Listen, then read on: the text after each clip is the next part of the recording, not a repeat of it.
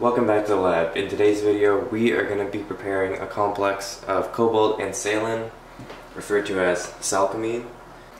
For the synthesis, we are going to be using 2.17 grams of cobalt-2 acetate tetrahydrate, and I just prepared this yesterday from cobalt carbonate and acetic acid.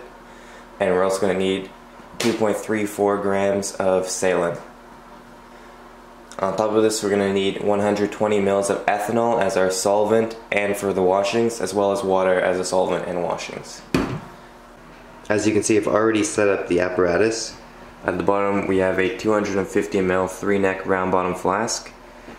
Attached to that, we have a 500 ml addition funnel, which you don't need something so large because we only have 15 mils, but it is my only addition funnel, so that's what I'm using. We have a reflux condenser, and that tubing leads to a bubbler. And in that bubbler, we're gonna have mineral oil. And the reason we have this bubbler is because we're gonna be passing argon through this whole apparatus to flush it. So you can see down here, I have my argon tank.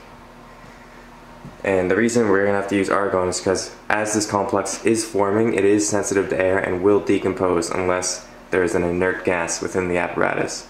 However, once the synthesis is completed, we can freely handle it in air.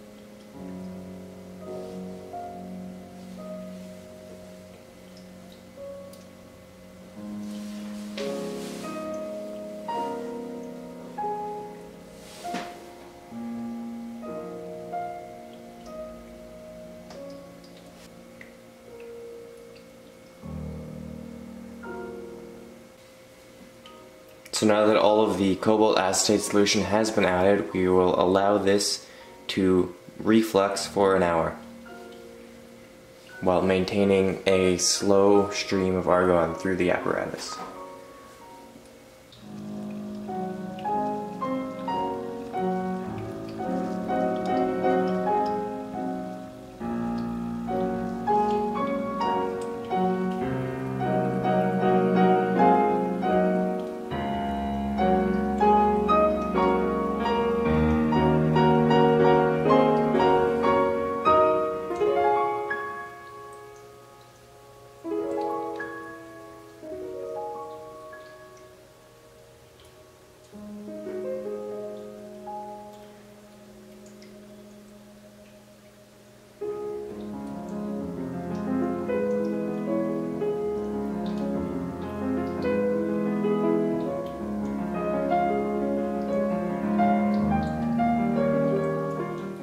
One hour has elapsed and you can see the mixture has turned a very dark red color. It's not actually that dark in real life, just the camera is making it look darker.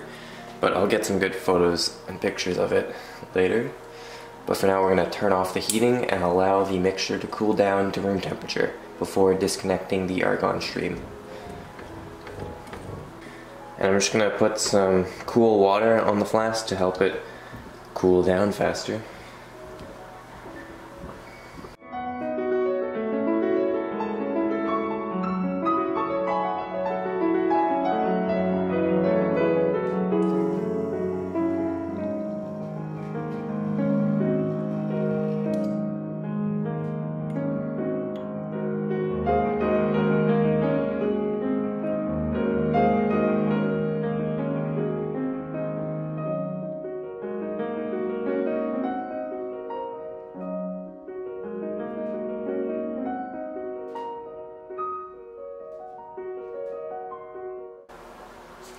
So now that I've filtered off all of the original solvent, I'm going to do three washings with distilled water and then another three washings with 95% ethanol.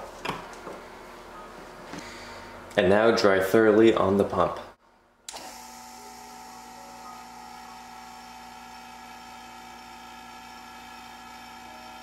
And here is the final product.